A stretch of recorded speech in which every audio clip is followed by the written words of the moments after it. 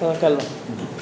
Ε, πήρε στα κείμενα ευρωπαϊκά τα επίσημα, τα δύο μεγάλα, του 2000 και του 2010, και τα σύγκρινες με τρία μεγάλα κείμενα. Όχι, πήρα όλα τα, όλα τα γέννησα και όλα τα διάβασα. Α, οκ. Και τα σύγκρινες με τρία μεγάλα κείμενα. Το, Και νο... τα διάβασα. ναι. το νόμο Κακλαμάνη που είναι ο 1566, το νόμο Αρσένη που είναι 25-25 και το Αρβανιτόπουλο που είναι τελευταίος. Από τους ελληνικούς νόμους κοίταξες μόνο τι γράφουν τα κείμενα ή συγγητικές εκθέσεις κτλ. Όχι, δεν στα κείμενα αυτά. Το Έτσι. κείμενο των νόμων.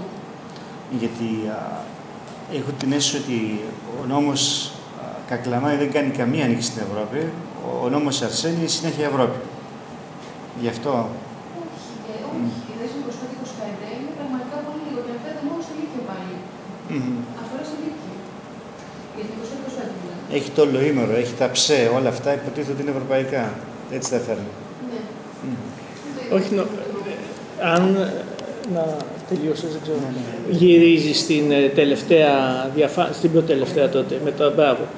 Αυτό είναι εντυπωσιακό. Δηλαδή, αυτό δείχνει ακριβώς το ότι δεν καταλαβαίνει κάποιος, ας πούμε η Ελλάδα ή οποιοδήποτε άλλος, δεν είναι μόνο η Ελλάδα, το πώς λειτουργεί η Ευρωπαϊκή Ένωση. Και είναι αυτό που έχουμε ξαναπεί, ότι η Ευρωπαϊκή Ένωση τι κάνει, κάποια στιγμή βγάζει μια γνώμη ή βγάζει μία ε, απόφαση που αφορά πολύ λίγους ή βγάζει μια σύσταση που αφορά όλους. Από τη στιγμή λοιπόν που φτάνει στην Ελλάδα μια σύσταση ή μια γνώμη, τι είναι αυτό, είναι υποχρεωτικό, όχι πέτα το στα σκουπίδια. Η λογική όμως της σύστασης είναι ότι εγώ στο μέλλον θα ασχοληθώ με αυτό το αντικείμενο και φροντίστε να κάνετε αυτά που πρέπει να κάνετε. Τα μεγάλα κράτη που παράγουν πολιτική τι κάνουν, ας πάρουμε τη Γαλλία. Ξαφνικά ένας ολόκληρος κόσμος αρχίζει να ασχολείται με αυτό το αντικείμενο. Οπότε μέσα σε μια τριετία έχει παραχθεί η γαλλική αντίδραση πάνω στη σύσταση. Όταν λοιπόν έρχεται ο καιρός όπου η Ευρωπαϊκή Ένωση αρχίσει να επισημοποιεί την ενασχόλησή της με αυτό το κείμενο, οι Γάλλοι πλέον σου λένε ότι «Πα, αυτό τελικά δεν είναι ευρωπαϊκή πολιτική, είναι η δικιά μας πολιτική. Διότι ήδη έχουν ασχοληθεί με αυτό και έχουν κάτι φτιάξει. Αυτό δεν σημαίνει ότι είναι εναρμονισμένο. Από εκεί και πέρα λοιπόν ξεκινάει η σύνδεση, της, η, ο ρόλος της γλώσσας και της ερμηνείας. Για να σου φέρω ένα παράδειγμα. Έχουμε το 2008 την απόφαση για το European Qualification Framework. Το qualification, έτσι από, τον, από τη φύση του, σημαίνει ότι εγώ έρχομαι και μετράω ε, τα προσόντα των ατόμων. Έτσι, αυτός στους Γάλλους δεν καθόταν. Έτσι, διότι έχουν ένα, ένα άλλο εθνικό μοντέλο, αλλά έχουν ένα μοντέλο. Έτσι, δηλαδή, αν δεν έχεις ένα μοντέλο, δεν γίνεται. Λοιπόν, το παιδέψαν από εδώ, το παιδέψαν από εκεί, το φέραν από εδώ, το φέραν από εκεί και τελικά είπαν, α, τελικά αυτό που λένε αυτοί οι qualification, το δικό μας είναι certification. Όπου το certification ή certification για τους αγγλόφωνους δεν σημαίνει καθόλου qualification. Αλλά οι Γάλλοι σου λένε ότι εμείς αυτό σημαίνει. Το certification όμως τι σημαίνει; Ότι εσύ έχεις τα προσόντα σου και έρχεται κάποιος, ποιος, το κράτος, και σου τα πιστοποιεί ότι τα έχεις. Από εκεί και πέρα το κράτος μπορεί να ε, αναπτύξει τις πολιτικές του. Έτσι. Και αυτό λοιπόν ξαφνικά μπαίνει μέσα στη γαλλική λογική και στη γαλλική διοίκηση όπου είναι λογικό ο συγκεντρωτισμός και η ναπολεόντια οπτική της δημόσιας διοίκησης που έχει το γαλλικό κράτος να έρχεται και να κολλάει. Οπότε αυτό το σύστημα, αυτά τα δύο συστήματα που εδώ φαίνονται ανεξάρτητα, ας πούμε στη γαλλική περίπτωση δεν είναι ανεξάρτητα, είναι ένα. Έτσι, οι Γάλλοι είναι πεπισμένοι ότι το γαλλικό σύστημα επειδή είναι γαλλικό είναι ευρωπαϊκό. Άρα δεν έχουν, δεν έχουν λόγο ή δεν έχουν έγνοια να διαπραγματευτούν το πώς το δικό μου σύστημα θα κολλήσει με το δικό τους. Δεν υπάρχει αυτό. Εμείς είμαστε αυτοί. Δηλαδή αυτό είναι ένα. Απλά, ας πούμε, στο, σε ένα δίκτυο, αυτό είναι συγκεκριμένο δίκτυο, όπω είναι η μαθητική διαρροή; Δηλαδή δεν υπάρχει λόγος διαπραγμάτευση για το ποσοστό της μαθητικής διαρροής. πρέπει να λάβω μέτρα στην κυβέρνηση πάνω σε αυτό. Δεν είναι κάτι καινούργιο. Ο κύριος Πολίτης. Ε, και εγώ όταν είδα αυτό το σχεδιάγραμμα που είναι πραγματικά πολύ κατατοπιστικό, ε, μου γεννήθηκε μια ερώτηση η οποία είναι παρεμφερής με την παρατήρηση που έκανε ο Γιώργος. Ε, εάν υπάρχει στα κείμενα τα οποία διάβασες κάποια παρατήρηση ή κάποιο σχόλιο ή αν εντόπισες σε ποιο βαθμό εμπλέκονται τα κράτη στην παραγωγή των κειμένων πηγή που εκπέμπονται. Διότι το πιο, είναι πάρα πολύ σημαντικό να δούμε πώς παράγονται αυτά τα κείμενα. Διότι αυτή τη στιγμή αυτή η μελέτη που κάνεις είναι πώς από εκεί που εκπορεύεται μια πολιτική περνάει ή δεν περνάει σε ένα κράτος μέλος που είναι η Ελλάδα. Αλλά να δούμε αν αυτό το feedback που ανέφερε που έχει να κάνει με τη Γαλλία και που εγώ ξέρω και από άλλους τομείς παράγεται και από άλλες χώρες σε άλλη, στη διαμόρφωση άλλων προγραμμάτων όταν φτιάχνετε ένα πρόγραμμα της Ευρωπαϊκής Ένωσης αυτό το πρόγραμμα από ποιους φτιάχνεται, ποιος το ξεκινάει και με ποια αντίληψη. Για να δούμε αν το χάσμα προέρχεται και το πρόβλημα αποκλειστικά και μόνο λόγω της, ε, των προβλημάτων του δέκτη ή μήπως υπάρχει και ένα πρόβλημα στη σύλληψη. Α, ως προς την νομοποίηση σε εκείνο το βαθμό, Ναι. δηλαδή να επικοδοθεί. Αυτό το ερώτημα. Απλά, μήπως αυτό, ε, ρωτάω και να ξέρω πόσο θα επεκτείνω την έρευνα. Μήπως είναι άλλο θέμα. Πρέπει να Μπορεί, εγώ λέω αν έτυχε να Ε, το... Βέβαια, αυτό έχει να κάνει ότι όταν λοιπόν η Ευρωπαϊκή Ένωση αρχίζει να φτιάχνει επιτροπές, γιατί το σύστημα διακυβέρνησης στην Ευρωπαϊκή Ένωση είναι ακριβώς αυτό, επειδή θέλουν να περιορίσουν τις κυβερνήσεις, περάσαμε έτσι, στο σύστημα της, ε, του ε, governance, που σημαίνει τι, ότι βάζουμε μέσα δεκάδες ε, stakeholders για να επηρεάσουν και ουσιαστικά γιατί το κάνει αυτό η Ευρωπαϊκή Ένωση, το κάνει για να περιορίσει την ισχύ των κυβερνήσεων, έτσι. Έχει συγκεκριμένο στόχο. Λοιπόν, όταν λοιπόν ξεκινάει ένα θέμα, αρχίζει και ρωτάει κατά τρόπο φυσιολογικό και δημόσιο, ποιος είναι ειδικός σου. Όταν εσύ ως χώρα επί τρία χρόνια έχεις φτιάξει ομάδες εργασίας, έτσι σηκώνονται διάφορα χεράκια, εγώ, εγώ, εγώ, εγώ. Έτσι, δηλαδή αυτό το έχουμε, εγώ έχω την εμπειρία αυτή από ένα πρόγραμμα έτσι πολύ μεγάλο της Ευρωπαϊκής Ένωσης, το tuning. Λοιπόν, στο tuning, το πώς πήγα δε στο tuning είναι ένα άλλο θέμα απίστευτης ελληνικής ε, αηδίας, αλλά εν πάση περιπτώσει πήγα. Εκεί πέρα ήμουν εγώ. Έτσι, ό,τι και να έλεγα, ήταν ο τύπος εδώ, ο folklore, που κατέβαζε ιδέες από το μυαλό του. Ενώ έβλεπα δίπλα μου, έτσι, ότι αυτοί που ερχόντουσαν, από πίσω είχε γίνει μια προεργασία από ομάδες και εξέφραζαν είτε το πανεπιστήμιό τους, γιατί μπαίνει και αυτό, είτε τη χώρα τους. Έτσι, ο ταλέπορος, ο φολκλόρο τύπος που έλεγε το μακρύ του και τον κοντό του, έτσι, πόσο μακριά μπορεί να πάει. Άρα δεν μπορεί να επηρεάσει την ουσία αυτό που διαμορφώνεται. Ακριβώς. Αλλά αυτό, έτσι, γιατί ε, θα πρέπει να το αποδίδουμε στην κακία των ξένων; Όχι, όχι, όχι. Είναι θέμα. Γιατί Έτσι, δηλαδή είναι, είναι χαρακτηριστικό ότι ένα από τα ανέκδοτα που κυκλοφορούν για την Ελλάδα είναι ότι η Ελλάδα είναι η κενή θέση. Διότι επί σειρά ετών έστελνε το Υπουργείο Παιδείας, πήγαινε εσύ ας πούμε, έτσι, το οποίο ήταν τελείως αφαίρετο, έτσι πήγαινε εσύ, και ο άλλος πήγαινε στις Βρυξέλλες και πήγαινε για ψώνια Για πήρες. ή για μπύρες. Έτσι. Ε, ναι, Δηλαδή, σε αυτό το σύστημα, πέρα από το ότι είναι γραμμή την πρώτη, έχεις και εσύ και η δεύτερη. Γιατί στου στόχους τους είχαν θέσει ήδη το 85 για την ισχυρή διδασκαλία κτλ. Τους είχαμε τους στόχους. Ο- Δεν μπορούμε στο 30 χρόνια να μην έχουμε κάνει τίποτα και ακόμα ισχύει να είναι πρόγραμμα ήσυχα. Ο κ. Κωστοδούλου. Ναι, ήθελα να πω πάνω σε αυτό που είπε ο κύριος Πολίτης. Στην ουσία ήθελα να, να, να επισημάνω το γεγονός ότι νομίζω ότι δεν είναι άλλο θέμα. Γιατί, Γιατί τα κείμενα αυτά παράγονται από κάποιου θεσμούς. Και οι θεσμοί αυτοί έχουν μια ιδεολογία, δηλαδή δεν είναι κείμενα ουδέτερα, ούτε ιδεολογικά, ούτε πολιτικά, ούτε και επιστημονικά. Δηλαδή, ακόμα και οι επιλογές που κάνουν οι επιστημονικές ή η ευρωλογία, νομίζω ότι θα πρέπει να αναλυθεί. Στο Γιατί πηγαίνει είναι και είναι στην αναπληρώσω, να πω, να πω το σχετικό. Το σχετικό μου είναι ότι αν υιοθετήσουμε σαν διακύβευμα θεωρητικό ε, σε ποιο βαθμό έχουμε υιοθετήσει ή δεν έχουμε πετύχει κάποιους στόχους, θα οδηγηθούμε σε μια οριενταλιστική αντίληψη για την Ελλάδα και για τις πολιτικές. Δηλαδή ότι εμείς έχουμε το μειονέκτημα ε, σε σχέση με κάτι που θα έπρεπε να κάνουμε το, και το οποίο δεν κάνουμε για, επειδή έχουμε, έχουμε μια ανατολική αντίληψη για τα πράγματα. Ή μια αναπηρία. Ναι. Αν υιοθετήσουμε δηλαδή αυτόν τον ευρωκεντρισμό με την έννοια που έλεγε ο, ο Σαΐd παλιότερα, ε, θα οδηγηθούμε σε μια αντίληψη για τον εαυτό μας ε, μειονεκτική. Δηλαδή το, το κείμενο το ίδιο θα πρέπει να αναλυθεί αυτό κάθε αυτό. Για παράδειγμα, ε, επειδή ασχολούμαι με τα τελευταία, η σχολική διαρροή πώς μετριέται. Υπάρχει ένα θέμα εκεί πέρα. Δηλαδή θέλω να πω. Έρχεται ένα παιδί στο σχολείο και σταματάει μετά. Πού ξέρουμε που πηγαίνει; Το δικό σύστημα δεν ξέρει. Άρα λοιπόν πώς μετράει και πού ξέρει ότι είναι άνεργο. Ξέρει πώ εγγράφονται. Ναι, και ξέρει μετά τι φέρει από το σχολείο. Μετά ξέρει που πάει. Ξέρει αν πάει για δουλειά. Ξέρει αν σκοτώνει. Ξέρει αν πάει στην εκκλησία. Δεν το ξέρει αυτό το πράγμα.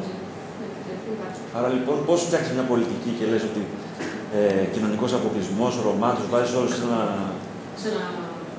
Αυτό δηλαδή θα πρέπει να, να μην περάσει έτσι ε, χωρίς να το σκεφτούμε καν. Σαν...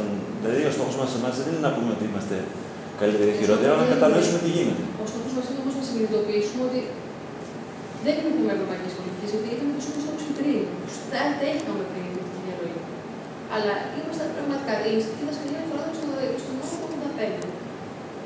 Αυτό 30 χρόνια μετά ακόμα είναι πρόγραμμα ΕΣΠΑ. Σημαίνει ότι, δεν, ότι για μένα, για εμά, που έχουμε αυτή τη θεωρία, δεν είναι προτεραιότητα για το σύστημά μας. Ναι, αυτό το πρόβλημα του χρόνου, η αχρονική θεώρηση του χρόνου, νομίζω ότι είναι. Δηλαδή, αλλά πρέπει να το συνειδητοποιήσουμε. Δηλαδή, δεν είναι φοβερό να βάλουμε ένα στόχο ότι πρέπει, έχω τόσα παιδιά φέτο, μετά από πέντε χρόνια θέλω να έχω λιγότερα εκτό σχολείου. Πάντως δεν ήθελα να το πω πριν σε αυτό, δεν ήθελα να σε διακόψω. Επί Αρσένη, στο,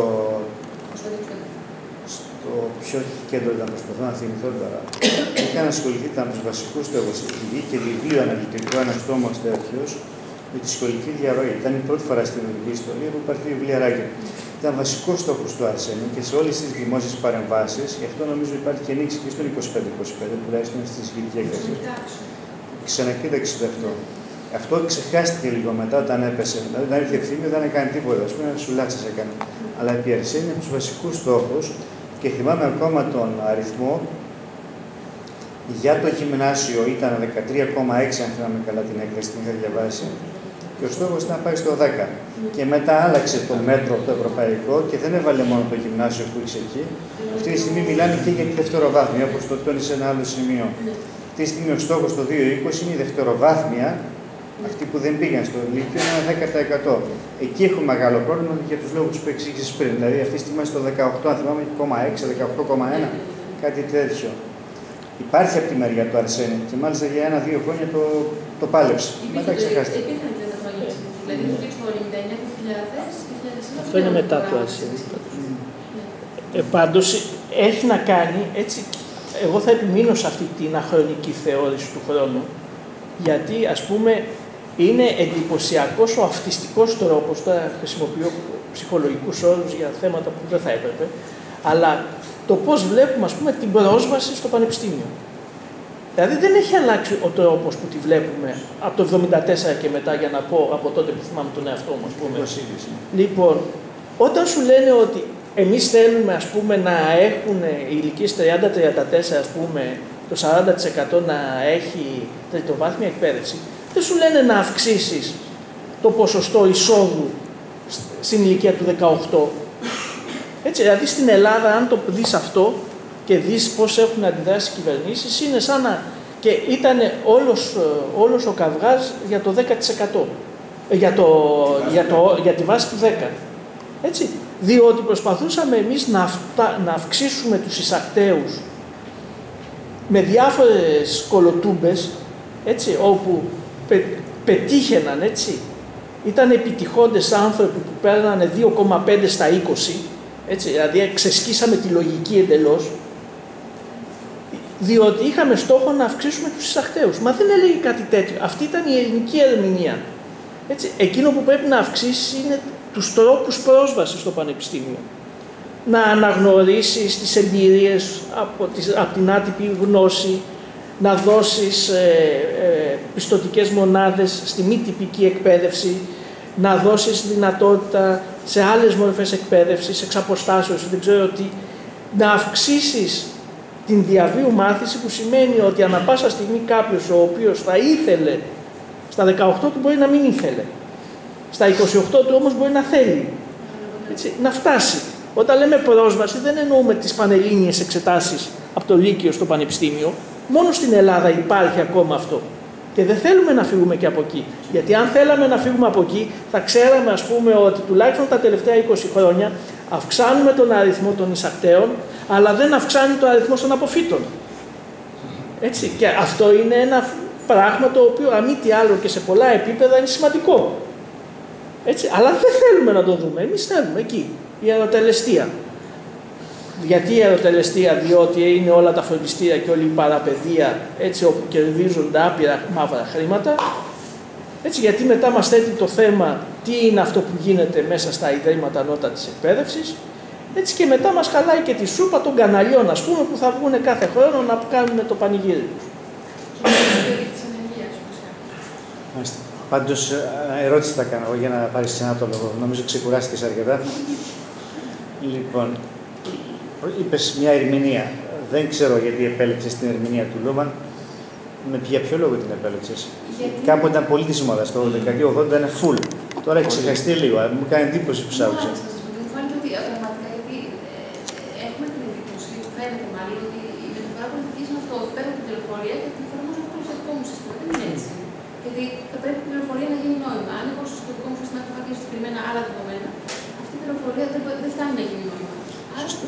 Αν είναι ισχύει αυτό όμως, πρέπει να πάρεις πολύ σοβαρά υπόψη τη δύο που σου κάνανε και ο Βαγγέλης και ο. Εάν η πληροφορία αρχή, δηλαδή το σχέδιο που λέει, το κείμενο εκεί, πομπό, είναι μακριά από τους πολιστικούς κώδες, αν δεχτούμε τη θεωρία αυτή του Λούμαν, άρα μήπως το πρόβλημα είναι εκεί, ότι στη διαμόρφωση υπάρχει απόσταση. Μπορεί δηλαδή να μην φαίνεται στους... να υπάρχει το πρόβλημα αρχικά. Αυτό ότι η Ελλάδα δηλαδή δεν συμμετέχει τόσο πολύ στη διαμόρφωση, να. Μήπως δηλαδή τα ίδια τα κείμενα. Εγώ δεν νομίζω ότι ισχύει αυτό, αλλά τέλος πάντων λέω ή η Ελλάδα mm. ή το πνεύμα της Ελλάδος. Δηλαδή, όταν σχεδιάζεις κάτι, πρέπει να λάβεις υπόψη του τι συμβαίνει παντού. Δεν μπορείς να λαμβάνεις υπόψη μόνο τι συμβαίνει στον εαυτό σου. Ανεξάρτητα το βαθμό ικανότητας τώρα της Ελλάδας ή των εκπροσώπων της στα όργανα. Ναι. Αυτό λέω, αν υπάρχει, θα ήταν ενδιαφέρον να δούμε αν υπάρχει μια τέτοια αξιολόγηση. Πάντως, Συγγνώμη. Να δώσω ένα παράδειγμα και σταματάω εδώ. Είδα αναφέρθηκε από τους στόχους βασικούς για το 2020, όπως ξέρεις, είναι υποσχολική αγωγή όλα τα παιδιά να πάνε πια αγωγή το 95%. Αυτός είναι στόχος παλιός. Στα κείμενα της Ευρωπαϊκής Ένωσης είναι προσεκτική. Δεν λένε να τελειώσει η προσχολική αγωγή από 3 μέχρι 6 που είναι στις πιο πολλές χώρες. Έτσι. Αυτό έχουν πάρει υπόψη στην Ελλάδα, γιατί στις άλλες χώρες είναι 3-6, σχεδόν σε όλες. Με εξαιρέσεις εμείς η Κύπρος και 3-4 άλλες χώρες. Εκεί λοιπόν η Γιαννάκου όταν έκανε το 6 το υποχρεωτικό νηπια αγωγή, από εκεί ξεκίνησε και έκανε το 6 υποχρεωτικό. Και υποτίθεται το 95 σε ό,τι φορά τα 5-6 το έχουμε πιάσει. Ποιο είναι το πρόβλημα τώρα, ότι το ποσοστό στα 4-5 είναι γύρω στο 55 με 58 παίζει ανάλογα με τις χρονιές. Εκεί γιατί δεν πιάσαμε το στόχο; Mm. Δεν ξέρω τι πιάσαμε. Νομίζω ότι είναι πολύ πολύ Δηλαδή όταν δουλεύει η μαμά και μπορεί να είναι στο σπίτι. Και όμω είναι πολύ χαμηλό το ποσοστό, είναι το πολύ 58 ανάλογα με τις χρονιές. Πιθανόν είναι και θέμα που δεν διαθέτουμε κονδύλια για την προσχολική εκπαίδευση, γιατί ξέρουμε ότι υπάρχουν πάρα πολλά παιδιά που μένουν εκτός τάξεων γιατί δεν υπάρχουν οι χώροι, δεν υπάρχει προσλήψεις από το Υπουργείο Παιδείας νηπιαγωγών. Οπότε δεν είναι θέμα των γονέων ότι δεν θέλουν οι γονείς να τα πάμε. Εμείς δεν διαθέτουμε χρήματα στην προσχολική εκπαίδευση. Είναι πολύ ισχυροί ιδιωτικοί σταθμοί και δεν θέλουν. Ξέρετε κάτι, όχι. Υπάρχουν, θυμάστε, πρόπερση που έγινε, το, που έγινε το μεγάλο θέμα που τα παιδιά δεν είχαν από, να πάνε σε σταθμούς που έγινε το θέμα με το ΕΣΠΑ και πολλοί γονείς βγήκαν και έλεγαν ότι δεν έχουμε χρήματα, κυρίω στις μέρες που ζούμε να τα πάμε σε ιδιωτικούς σταθμούς που το πόσο είναι από 200-300 ευρώ και μετά σε μια νύχτα βρήκαν θέμα. Ναι, γι' αυτό σου λέω ότι ε, το, το λόμπι των ιδιωτικών σταθμών είναι πολύ ισχυρό σε αυτό το επίπεδο. Έτσι, δηλαδή... Απλά, ναι, είναι ισχυρό, απλά δεν στις μέρες που ζούμε, δεν ξέρω κατά πόσο μπορεί να λειτουργήσει. Αυτό είναι άλλο θέμα. Αυτό είναι η πίεση στην κυβέρνηση. Αλλά το λόμπι των ιδιωτικών σταθμών υπάρχει. Αυτό όμως είναι η τρίτη περιοχή. Ναι. Είναι... ότι δεν ασχολείται. Η περιοχή του παιδίου. Όλο αυτό που βαδιασμοί. Δηλαδή, η πρώτη κόκκινη γραμμή είναι αυτό που ασχολείσαι, έτσι δεν είναι; Ε, ε, ναι, Γιώργο. Μια, μια παρατήρηση της πρωτοβάθμιση και στη, ειδικά στην Καβαγγέλη. Εγώ πιστεύω ότι υπάρχει αντίληψη στους γονείς και οι γονείς ότι και συγχαίρεται ο ρόλος του νηπιαγωγείου με τον παιδικό σταθμό. Ναι, Εγώ πιστεύω ότι είναι ένα ε, μεγάλο πρόβλημα και, και κατ' επέκταση πιστεύει ο γονέας ότι το νηπιαγωγείο δεν είναι σχολείο. Και ότι είναι κάτι σαν επένδυση. Ειδικά στην επαρχία. Πα- πα- Πάντως, ε, Ειδικά στην επαρχία. πάντως εκεί είναι πάλι ένα θέμα γιατί υπάρχουν χώρες που σου λένε ότι οι ηλικίες 0-6 είναι διαφορετικό επίπεδο από τα άλλα, έτσι. Αλλά εκεί έχουν αναπτύξει και τις κατάλληλες πολιτικές και την επιχειρηματολογία.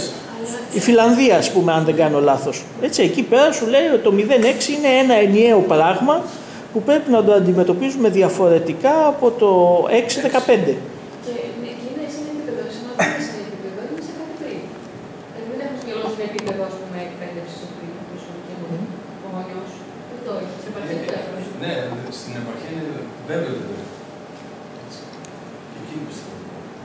Πάντως για να επανέλθω λίγο στο προηγούμενο, ειδικά αυτό που έλεγε ο κύριος Πολίτης, έτσι έχω την αίσθηση ότι εντάξει μπορείς να το πας στο πολιτισμικό, αλλά ας πούμε ε, στην περίπτωση της Γαλλίας που την ξέρουμε καλύτερα, ε, εκεί πέρα βλέπεις ότι υπάρχει ένα μοντέλο, άσχετα αν είναι καλό, κακό, αποτελεσματικό ή όχι, και όταν υπάρχει ένα μοντέλο, παρόλο που υπάρχει η απόσταση ε, από ε, κάποια πολιτική ή κάποια θεώρηση, το μοντέλο αυτό δρά λογικά ούτως ώστε να προσαρμόζει τα εξωτερικά μηνύματα στο, δι- στην δική του περίπτωση. Συνομιλία, εννοείς, Ναι. και- Αυτό βέβαια ε, μπορεί προς το παρόν να βολεύει τη Γαλλία, βέβαια από την άλλη την οδηγεί σε μια απίστευτη απομόνωση στα πλαίσια της Ευρωπαϊκής Ένωσης.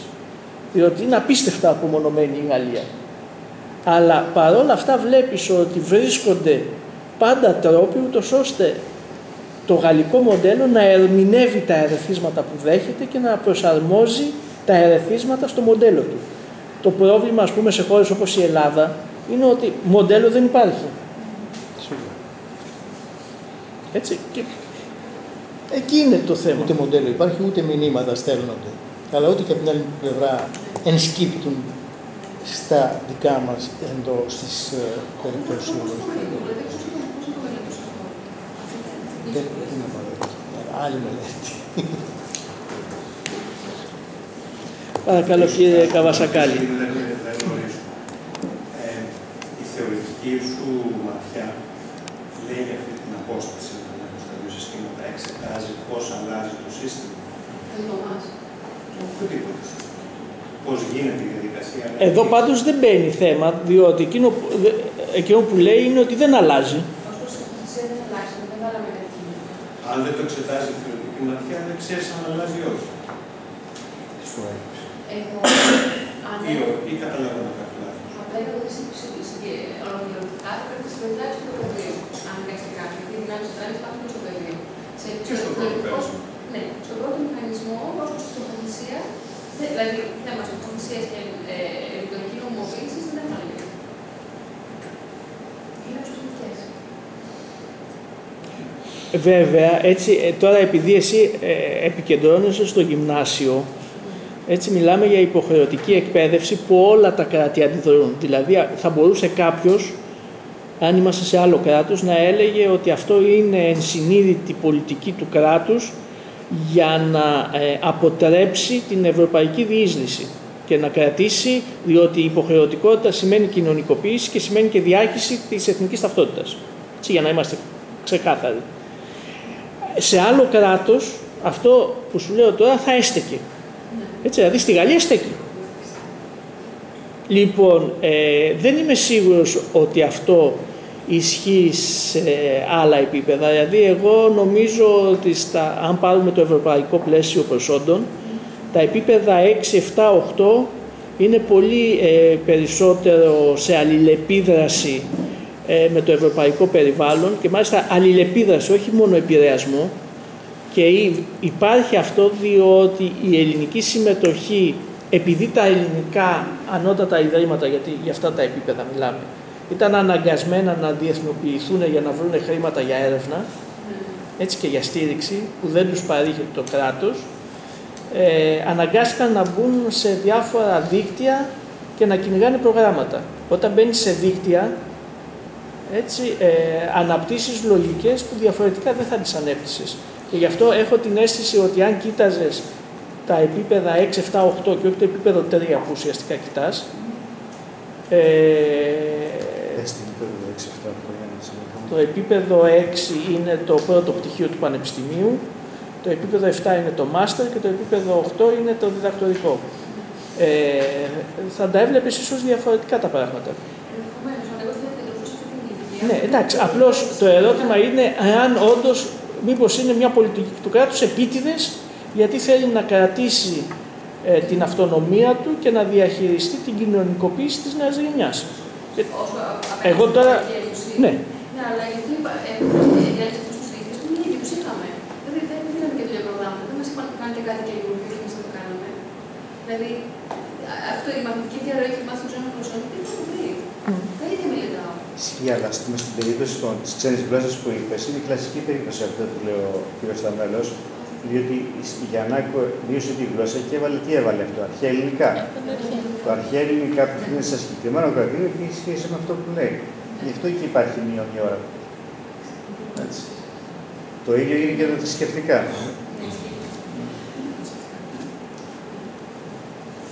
Ε, άρα, επειδή μιλάμε για την υποχρεωτική εκπαίδευση εκεί, ίσως ε, να λάμβανες υπόψη σου αυτό. Έτσι, δεν νομίζω ότι γίνεται οργανωμένα. Έτσι, εδώ απλώς ήταν μία υπουργός, όταν έφυγε η υπουργός, άλλαξε η πολιτική. Έτσι, δεν υπάρχει κάποια συνέχεια. Ναι, ε, αλλά είναι μια διάσταση που ίσως έπρεπε να, θα έπρεπε να δεις. Δεν νομίζω ότι το να την έτσι, όπως είναι λίγο παρακινδυνευμένο, δεν ξέρω. Κοίτα, σίγουρα ε, υπάρχει, κατά την άποψή μου, ε, ένας σαφός επηρεασμός ε, του Υπουργείου Παιδείας από την Εκκλησία της Ελλάδας. Έτσι. Ε, άρα πιθανότατα να μην είναι ε, πολιτική για την συγκρότηση εθνικής ταυτότητας που είναι το βασικό δυτικοευρωπαϊκό μοντέλο, εν αλλά να είναι ε, πολιτική, διότι η Εκκλησία της Ελλάδας έχει, έχει τις σταθερές της, αχρονικές σταθερές, αλλά τις έχει. Έτσι, ε, διατήρησης ή υπεράσπισης της θρησκευτικής ένταξης έτσι, να μην είναι στο εθνικό επίπεδο, αλλά να είναι στη θρησκευτική ένταξη.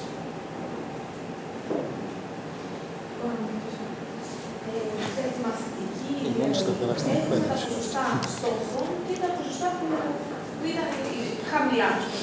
Για τις ξένες γλώσσες ε, μας δείξατε ποσοστά, νομίζω όχι.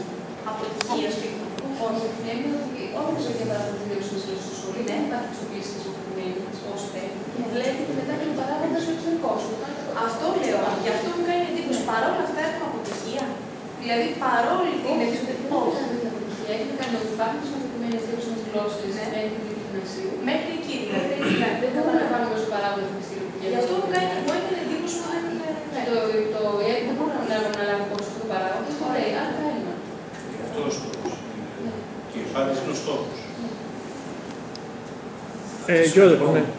Ε, έχω μια απορία.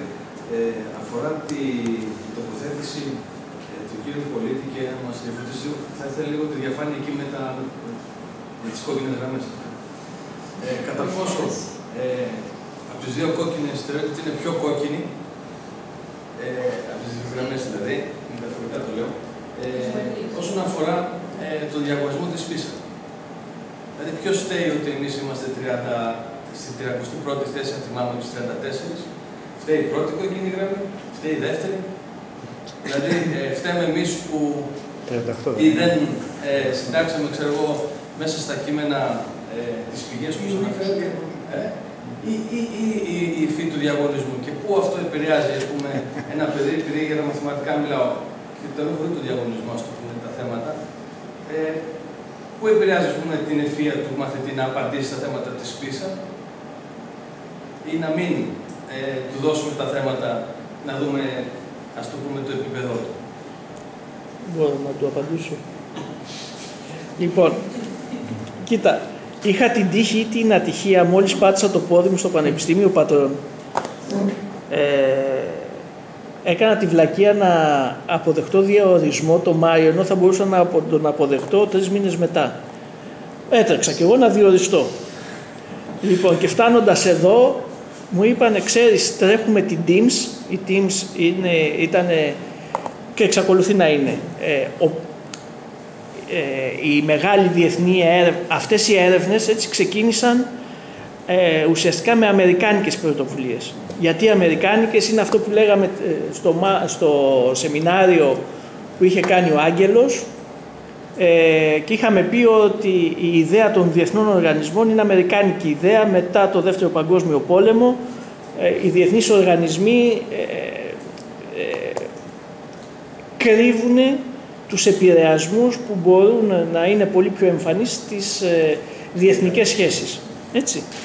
Λοιπόν, η, η ΕΑ είναι ο, ο οργανισμός, ένας επιστημονικός οργανισμός, φορέας που προωθεί την ιδέα των διεθνών ε, αξιολογήσεων σε όλα τα επίπεδα. Λοιπόν, η ΕΑ ξεκίνησε τις έρευνες της στις αρχές της δεκαετίας του 90. Εγώ συμμετείχα στην τρίτη έρευνα για τα μαθηματικά και τις φυσικές επιστήμες. Έτσι. Λοιπόν, και είχα να, ε, πώς το λένε, να επεξεργαστώ 35.000 ερωτηματολόγια. Έτσι, ε, το, καλό στην όλη, το κακό ήταν ότι έχασα το καλοκαίρι μου και μπήκα σε μια έρευνα που δεν ήξερα τι είναι. Το καλό είναι ότι έμαθα να διαχειρίζομαι μεγάλες ποσότητες ερωτηματολογίων. Λοιπόν, εκεί πέρα, για να καταλάβεις ότι κάποια στιγμή στο τέλος της δεκαετίας μάλωσαν αυτοί που φτιάχνανε.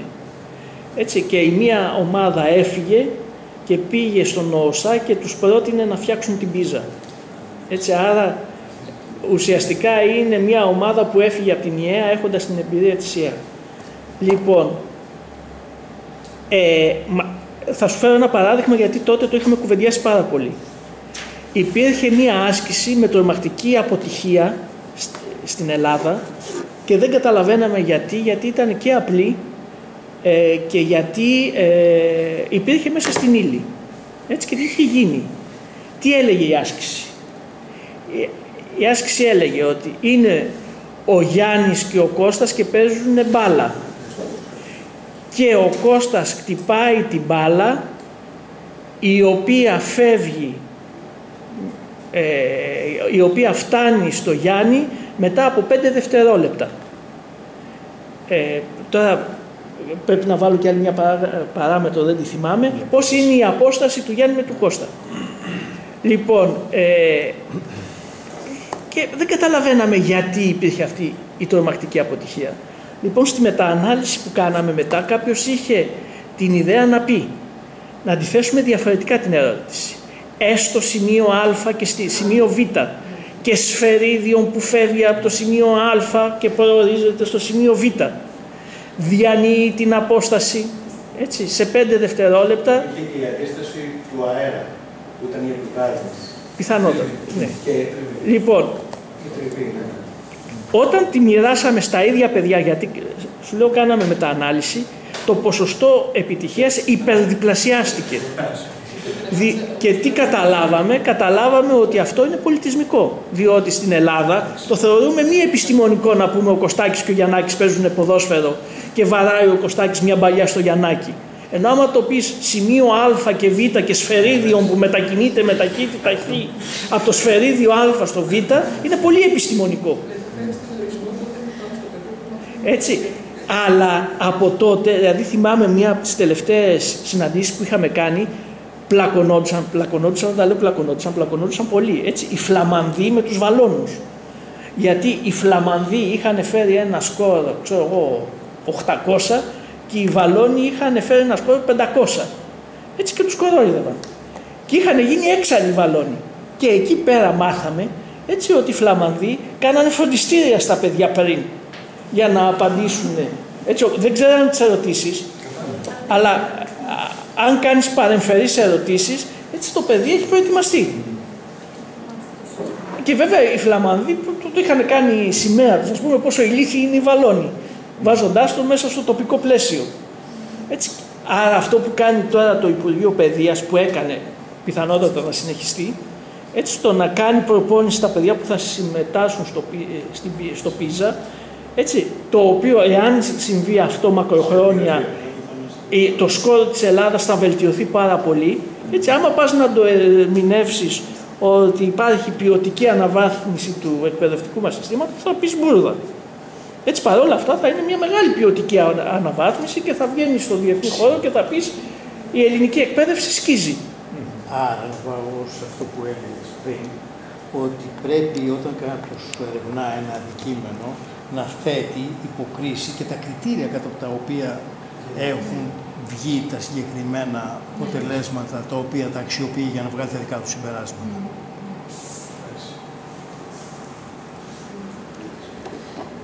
Άλλη ερώτηση.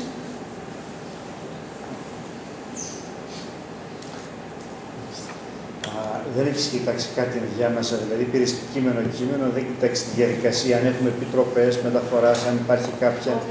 Δεν κοιτάξει καθόλου αυτό έτσι. Απλά πήρε τα κείμενα έτσι. Τι θέλεις να κάνεις τώρα, βιβλίο;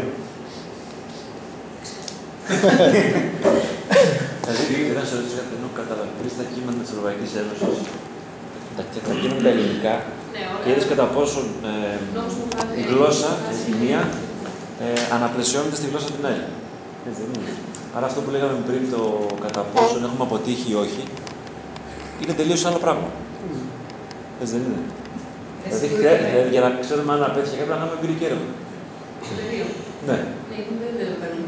Άρα λοιπόν το ερώτημα δεν είναι κατά πόσο απέτυχε η έρευνα. Δεν είναι κατά πόσο απέτυχε ποιο. Η μεταφορά συγγνώμη που Όχι, αλλά είναι ας πούμε, αυτό που σου λέω σε επίπεδο κοινωνική τάξη, ότι υπάρχουν κάποιοι συγκεκριμένοι άξονες οι οποίοι δεν Συνέχομαι. Οι άξονε. Ναι. Αυτό εγώ νομίζω ότι θα έπρεπε να μπει και το ερώτημα. Δεν μεταφέρεται στο θεωρητικό πλαίσιο, στο, στο κείμενο, και στο υπάρχει ε, Πριν νομίζω ότι θα, θα ήταν ενδιαφέρον να ρωτήσεις τι είναι αυτό που είναι άξιο να μεταφερθεί και πώς συγκροτείται ως τέτοιο.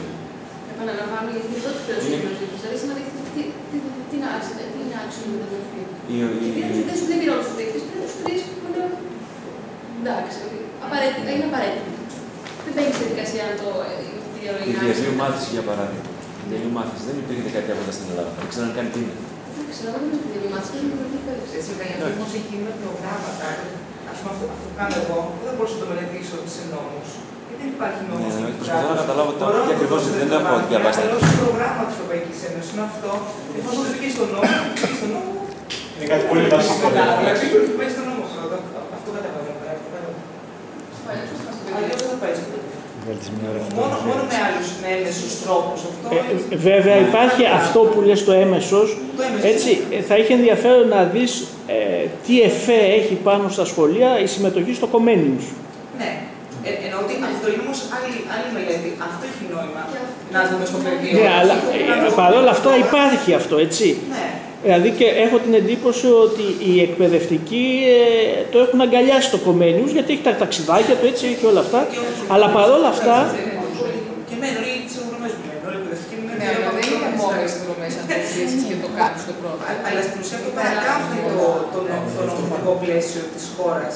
Ναι, αλλά ε, είναι, ένα, είναι ένα, ένας μηχανισμός εισαγωγής της ευρωπαϊκής διάστασης ναι. στο ελληνικό σχολείο αλλά παρακάμπτει στην ουσία το, το ενδιάμεσο. Ναι. Παρακάμπτει το ενδιάμεσο, ναι. Στο παιδαγωγικό στρατό του παρατηρεί ότι είναι μετάβαση. Κάνει έρευνε κάθε δύο χρόνια για την μαθητική διαρροής. Αυτό δεν φτάνει ποτέ στο παιδί. Όπω επίσης το κάνει η κάνει μορφώσει εκπαιδευτικό για την μαθητική διαρροή; Αλλά σε τι βαθμό, πόσα σχολεία; Δεν είναι γενικευμένο. Δεν γίνεται να επιμορφώνει του εκπαιδευτικού γι' αυτό. Ναι, απλώς ακριβώς επειδή δεν υπάρχει το πεδίο σε αυτό που κάνεις, έτσι το πεδίο μπορεί να αλληλεπιδρά με το πρώτο σύστημα υπερπηδώντας το δεύτερο σύστημα. Και σου φέρνω για παράδειγμα το... Στο δικό σου το σχολείο δεν έχει το δώσει σε παιδί που δεν πατούσε πτυχίο για να τελειώσει το γυμνάσιο, τι κάνει. Αυτό το σχολείο έχει πολλά προβλήματα, πρέπει να πω. Διότι ως γνωστόν είναι και μια διευθύντρια, έτσι. Δεν το λέω. Μπορώ, μπορώ, μπορώ. Μπορείς. Ε, θέλω να πω Θε- για να γίνει η ερώτηση μου σαφή. Είναι ένας που έχει, παίρνει το πτυχίο, δεν είναι μαθητή σχολική διαρροή, άλλος που δεν το παίρνει είναι. Έτσι. Κάτσε, περίμενε. Θα σας πω. Μμ. Θα το κλείσετε. Τι θέλεις; Κλείστε το, εγώ δεν μπορούσα να το ήθελα. Τώρα θα